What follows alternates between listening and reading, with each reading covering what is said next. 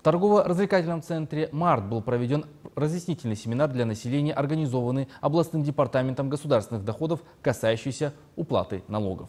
На данном мероприятии была предоставлена полная информация о налоговом и таможенном законодательстве, а также проведены разъяснения по вопросам внедрения цифровых информационных технологий в органах государственных доходов.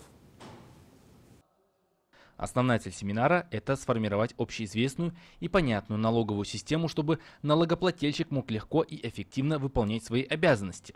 Также мероприятие направлено на помощь налогоплательщикам в удовлетворении их потребностей. В ходе мероприятия обсуждались вопросы налогообложения с населением, а в конце семинара сотрудники областного департамента государственных доходов провели викторину по налоговой грамотности среди жителей и гражданам. Правильно ответившим на вопросы были вручены подарки.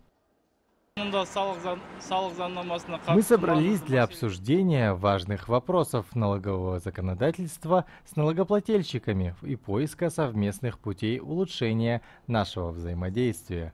Мы рассмотрим вопросы и предложения налогоплательщиков, обсудим их и будем работать над тем, чтобы оправдать их ожидания – в целом мы будем стремиться сделать все налоговые процессы максимально эффективными, удобными и простыми для налогоплательщиков.